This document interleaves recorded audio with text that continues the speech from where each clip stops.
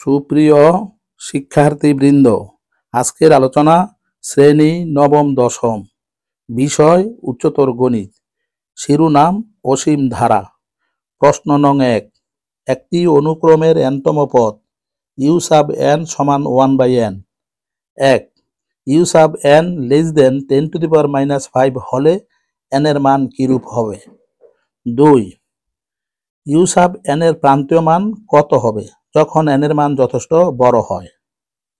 এখানে প্রশ্নে দেওয়া তথ্য থেকে আমরা পাই এনতম পদ ইউ সাব এন সমান ওয়ান বাই এন এক নঙে দেওয়া আছে U sub N less than ten to the power minus five আবার ইউ সাব এন সমান ওয়ান বাই এন তাহলে দ্বিতীয় লাইন হবে one by N less than ten to the power minus five মান বসাইয়া। আমরা জানি ten to the power minus five অর্থ one by ten to the power five তাহলে তৃতীয় লাইন হবে one by N less than one by ten to the power five এখন আমরা উভয় পার্শ্বে ব্যস্তকরণ করলে আমরা পাই লেস দেন তখন গ্রেটার দেন হবে। সুতরাং N is greater than ten to the power five দুই, দেওয়া আছে ইউ সাব এন সমান ওয়ান বাই এন লক্ষ, সমীকরণ এক।